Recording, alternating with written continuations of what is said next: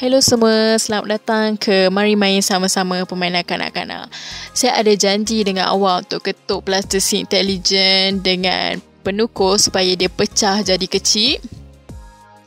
Kat sini saya ada lima plastik yang berbeza. Semua jenis lain-lain. Kat, kat sini saya ada neon flash. Ni tak istimewa sangat. Cuma warna dia cantik.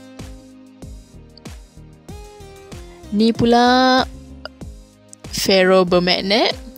Macam nama dia Dia ni bermagnet. Dalam ni ada magnet. Baik saya keluarkan dulu Supaya saya tak ketuk-ketuk nanti dengan penukul. Kat sini ada ruang sikit. Sebab tu plastik sesini bermagnet. Saya letak magnet ni kat tepi dulu Lepas tu kita ada chameleon, dia boleh tukar warna. Sekarang kita nampak hijau tapi nanti dia boleh tukar jadi putih bila kita guna. Lepas tu pula kita ada Milky Way. Plaster sini glow in the dark. Akhir sekali kita ada hijau, hijau semarak. Kita boleh nampak kat sini yang hijau dia agak gelap. Okey, kita boleh nampak kat sini lima plasticine yang berbeza, semua jenis yang lain-lain. Smart magnet, glow in the dark, tukar warna dan biasa.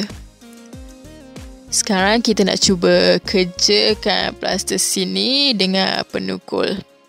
Saya tak akan buat atas meja, takut pecah meja ni, jadi saya akan buat atas lantai je.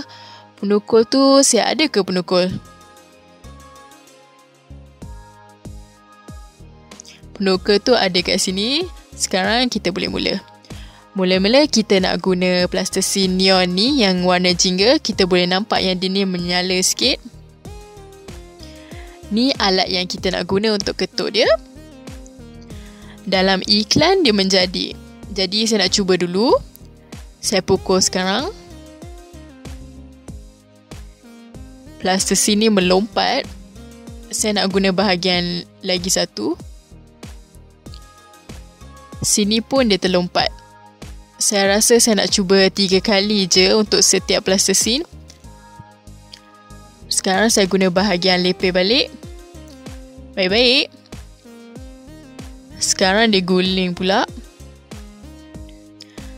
Dengan plaster scene jenis neon flash tak menjadi sekarang kita cuba dengan ferromagnet pula. Rasa dia lain sikit dari neon flash. Rasa dia lagi kenyal. Saya letak dia lepeh kat sini dulu. Ni tukul saya. Okey, sekarang saya guna bahagian yang tajam pula.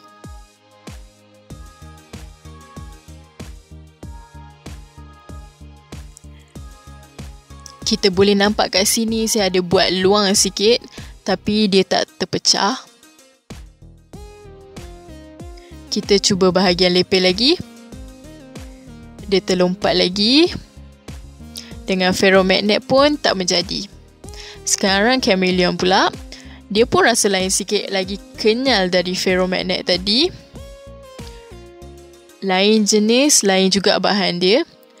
Sekarang kita cuba lagi dengan penukul.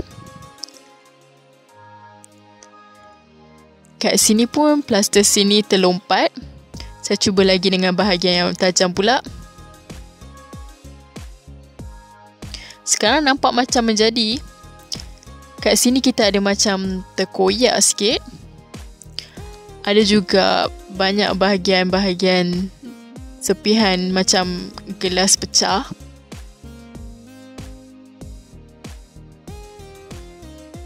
Sini menjadi menjadi sikit. Kita ada lagi satu ketukan. Untuk bagi sama dengan yang lain saya akan guna bahagian lepeh balik. Saya akan ketuk betul-betul dekat lubang ni.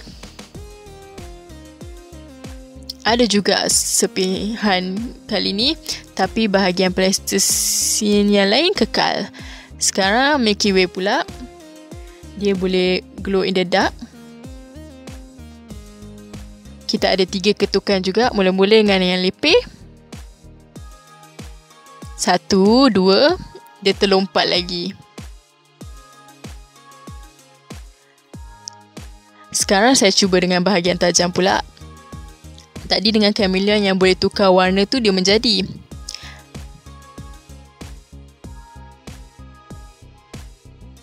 Ada sikit je sepihan. Kat sini ada juga lubang macam tadi. Saya nak cuba ketuk lagi sekali dengan bahagian tajam ni. Tengok saya kena tak. Okey, bahagian ni je yang terkeluar. Tapi dia tak jadi banyak sepihan macam video intelligent processing ni. Sekarang yang ter terakhir, hijau smarago. Saya nak lepihkan sikit. Lepas tu ketuk dengan penukul ni. Mula-mula dengan bahagian lepih. Dia terlompat lagi. Sekarang dengan bahagian tajam pula. Tak menjadi pun.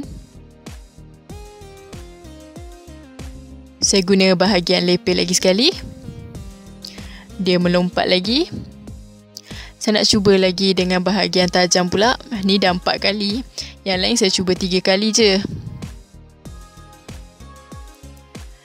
Ni pun tak jadi. Dia terlompat je macam bola. Kat sini kita ada semua lima jenis plasticine neon, neon flash, magnet, chameleon, Milky Way dan hijau smarago. Dengan jenis ni semua tak terpecah jadi banyak sepihan bila diketuk. Ada juga sepihan-sepihan kecil yang terkeluar. Tapi untuk jadi banyak sepihan tu tak adalah. Saya pernah juga cuba dengan pemegang gunting tapi tak cukup kuat pula. Mungkin awak bernasib baik dan dapat pecahkan plaster sini. Saya terfikir kenapa dia tak menjadi. Kenapa dengan dalam iklan dia menjadi. Kalau awak ada tips dan cara terbaik untuk saya pukul plaster sini dengan penukul, tulislah kat komen kat bawah. Saya harap awak suka video ni. Walaupun kita gagal sikit, semuanya tak menjadi tapi kita cuba-cuba je. Tulislah komen yang baik-baik.